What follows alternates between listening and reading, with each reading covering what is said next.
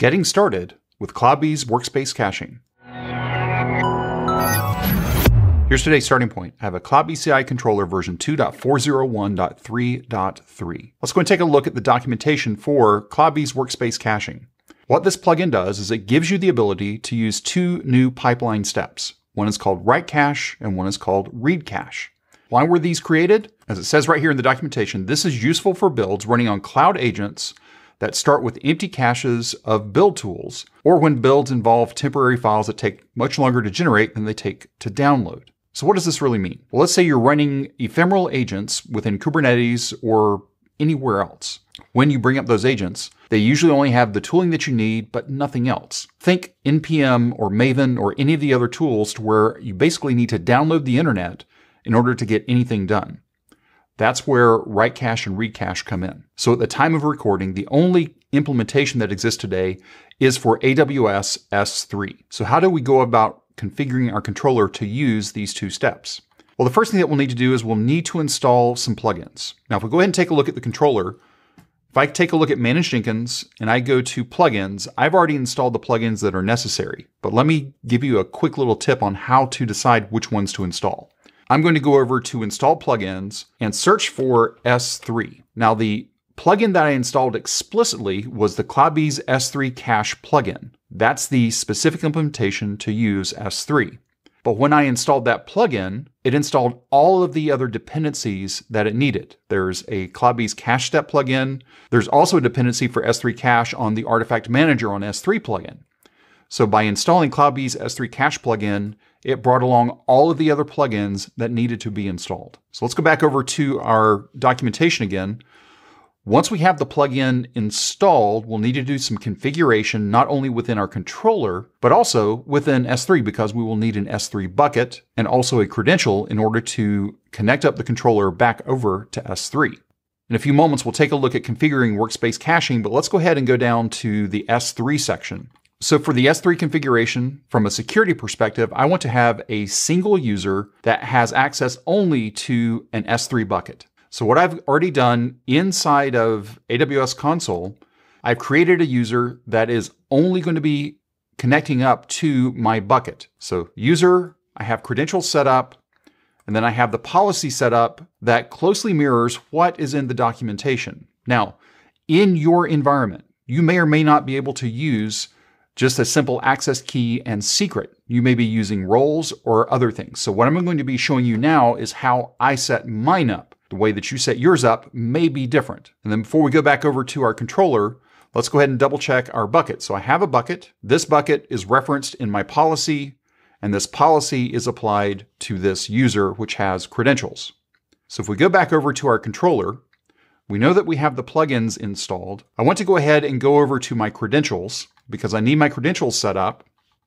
If I take a look at credentials, I have a AWS type credential. So if I click on update here, we can see that the access key is this value and the secret access key is hidden, so you can't see that. We see a message saying these credentials are valid but don't have access to the Amazon EC2 service.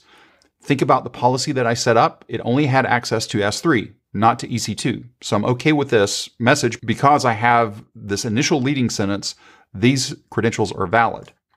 Now, again, for my setup, I don't need to set up IAM information. All I needed was my key and secret. Very simple setup. So now that we have our credentials set up, let's go back over to our documentation. We can see that we've gone through the policy and now we're at the point in the documentation to use the steps. But before we do that, we need to go back up top and take a look at the configuration of workspace caching. So if we go back into our controller, click on Manage Jenkins, and then click on System, what we're going to see is a section called Workspace Caching. Now for Workspace Caching, by default, when it's installed, it is set to none because there's no configuration set up. The only option at time of recording is S3 cache. So if I select this option, I then get some extra information underneath, but the most important part of this is setting up the S3 bucket access settings in AWS configuration. I'm going to open this in a new tab. Now, as that opened up, I'm not going to click on save right now because when we run our pipeline the first time, I don't want to have my caching set up. So I just want to go ahead and make sure that my AWS configuration is set up correctly. So in this case, I have an S3 bucket name, which was what we had defined over in the AWS console. Again, for my specific setup, because of how I've got my AWS account set up, I'm not using a base prefix. I don't need a custom endpoint. I don't need custom signing region. For my scenario, I need to disable the session token because I'm not using session tokens. For the Amazon credentials, I needed to select a region and also the credentials that I had already set up on my controller.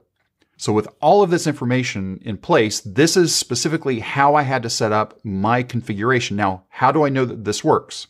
Over here on the right-hand side, there is a validate S3 bucket configuration. So once I click on this button, if everything is fine, then what we will see is a message that says success. Before you can go on and do anything else with workspace caching, you have to get this part set up correctly. Said differently, if you don't see success, keep iterating on this until you do get success. Once you have success, then we can go ahead and go take a look at our pipeline. Before we take a look at the pipeline, I want to call out one more thing in the AWS console. Taking a look at our bucket, notice that we have no objects. And in fact, I'm going to go ahead and refresh and see that we have no objects in this bucket. Let's go over and take a look at the job that we're going to run. So we'll go back into our controller. Again, I'm not going to save the configuration for workspace caching. I want to leave it none for right now. So I'm just going to leave the page. We'll go into this job and let's take a look at how it's configured. Now the agent that is attached to this controller that's going to be used by this job is a static agent.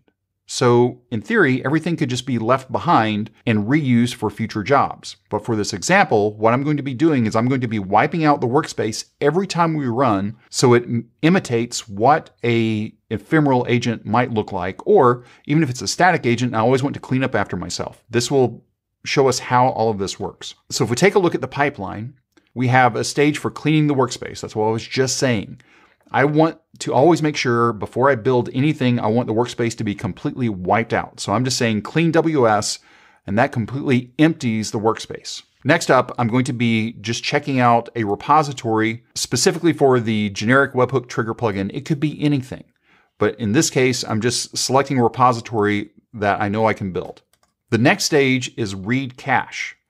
Now, I've included the read cache here, and I'm passing in a name and the name is mvn-cache. Let's go back over to the documentation.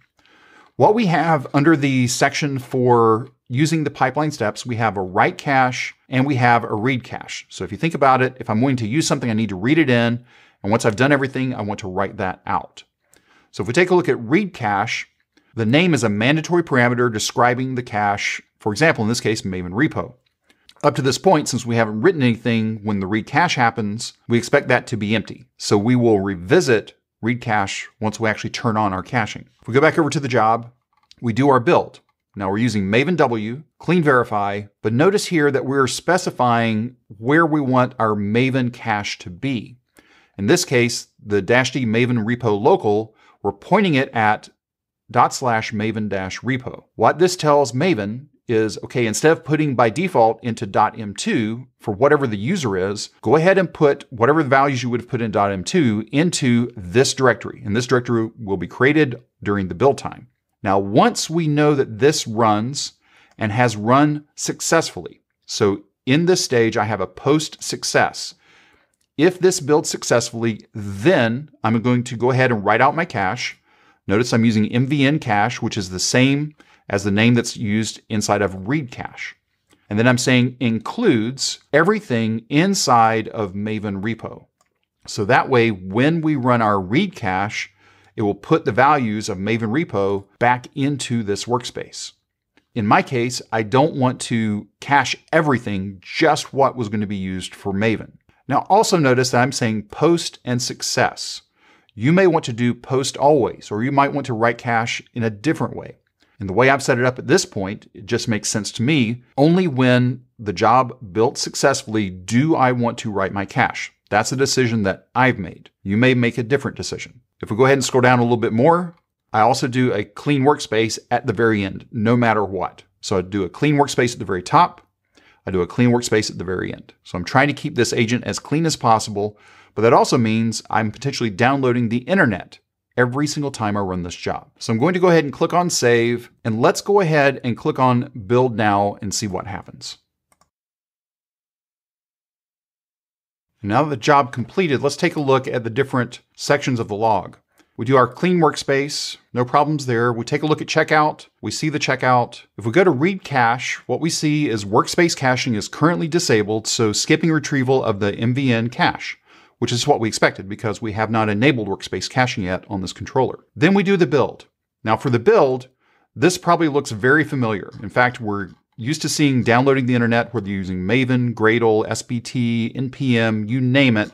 We're used to downloading the internet anytime there is a fresh agent that we need to install things on. So again, this took a little bit of time. In fact, this section in total took two minutes and 49 seconds. We also see here, remember we had a post success. Workspace caching is currently disabled, so skipping creation update of the MVN cache cache. So if we were to go back over and take a look at our S3 bucket, we would expect to see no entries there because, again, we haven't enabled it yet.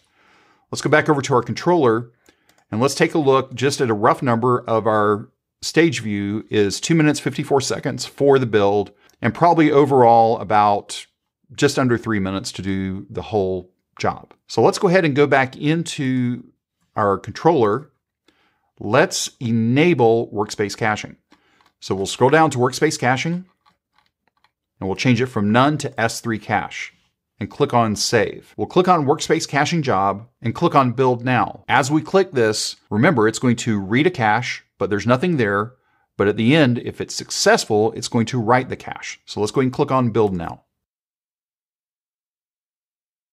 And now that the job completed, let's go ahead and take a look at the different sections again. For read cache, we're checking the cache context for workspace caching job for cache maven cache. We find that the cache item does not exist, so it continues on building. If we take a look at build, again, we see our normal downloading the internet. The build time is roughly the same, but notice here at the very end, preparing to upload compressed archive for cache maven cache. Uploading the cache, and then it uploaded it in about 98 seconds. Now, notice here it said roughly 2.5 megabits per second. This is a key point. On the network that I'm on right now, I have really great download speeds, but not very good upload speeds. So, what I would expect when we run our job again, it's probably going to run a little bit faster, but because of the upload times, the overall job time might take a little bit longer. Let's take a look at the stage view to understand that. So, if we take a look at the time we ran here, we had a one second read cache because there was nothing to read. The total build time, including the time to upload the cache, took 4 minutes and 26 seconds. So this time took a lot longer, even if you compare it to the previous run with no caching. But remember, this one included writing the cache. So what I would expect now that I have a cache, and in fact, if we go over to S3, and if I take a look at the objects within this bucket, I now see an entry for this cache if I click into that, there's a directory, and this directory has a file, 247 meg. If we take a look back at our log, what we'll see is that the file size is that 247.92, which is the same as what we see over in S3. Now, I want to call this out while we're talking about this. When you have a cache file, notice these names are effectively nonsensical. It's cache dash 4f6 that then leads to a directory tvrr that leads to a file bxzu. Now, before we go on, let's go back over to our documentation. I want to call out an item under the pipeline section called cache contexts. Caches are scoped to the pipeline that created them. In our pipeline, we created a cache named mvn-cache. That means that that name can be used anywhere else because that mvn cache is scoped to my job, workspace cache job. Taking a look right here. My workspace caching job, that cache that exists in S3 will only work within this job. However, there is one exception, and builds for pull requests in a multi-branch pipeline will be able to read but not write the cache of the job. So in my case, I'm not using a multi-branch, I'm just using a standard pipeline job. But if you needed to be able to pull in that cache, then builds for pull request will be able to read that cache, but not write back out. Now, one more thing I want to take a look at before we go back and run the job one final time, let's take a look at this file itself. Very standard file inside of S3, but if we scroll down to the metadata section, we're going to see four items included in the metadata. We have a job name that gives us our job name. We know which build number it was. So this was build number 21. If we take a look back here, this was build number 21. The Jenkins URL gives us the URL to our Jenkins controller, and then there's also a UUID that's included. So by taking a look at the object within S3, we have three items to where we can track back to where this cache belongs. In this case, on the CM11 controller in the workspace caching job job, Build number 21 was where this file was created. So let's go ahead and go back over one final time to our controller. Let's run the job and see where it lands. Now remember, on my network, I have a great download speed, but not a great upload speed. So we have to keep those two things in mind when we take a look at the overall build number. Let's go and click on build now. And now that the job completed, let's take a look at read cache with read cache, we were checking the cache context for this job for Cache Maven Cache. We found it. It downloaded the 947 meg. Once it downloaded it, it did the extraction in seven seconds and then completed. So basically, this whole time from 13 to 29 was a total of roughly 16 seconds. Now, let's take a look at our build step. Normally, that had been taking anywhere between two and a half and three minutes. This time, the total time, instead of being two and a half to three minutes, was 51 seconds. If we scroll up a little bit, we don't see that we were downloading the internet because everything that was necessary came down in that cache file. Now, still notice here at the end, we did a write cache back, still the same size. It took about 96 seconds. Let's go ahead and go back to our stage view. And what we'll see here is even with the upload, we still beat our time at 2 minutes and 31 seconds. Now, by the time you factor in the read cache, that took 15 seconds. But if you think about this one, this is the one we really need to compare against. We did not have a cache at all, and we wrote a cache in 4 minutes and 26 seconds. Since we had a cache when we ran the next one, we had 15 seconds plus 2 minutes and 31 seconds, so roughly 2 minutes and 45 seconds down from the 4 minutes and 26 seconds. Now you may have been hearing some it depends throughout this video. How good is the network on the upload? How good is the network on the download? How fast are the drives on my agents? how performant is the CPU on my agents. By implementing write cache and read cache in your pipelines, you should see a performance increase in how your jobs run. If you have any questions or comments, you can reach out to us on Twitter at CloudBees. If this video was helpful to you, give us a thumbs up. And if you haven't subscribed to CloudBees TV yet, why not? Take a moment, click on that subscribe button, and then ring that bell, and you'll be notified anytime there's new content available on CloudBees TV. Thanks for watching, and we will see you in the next video.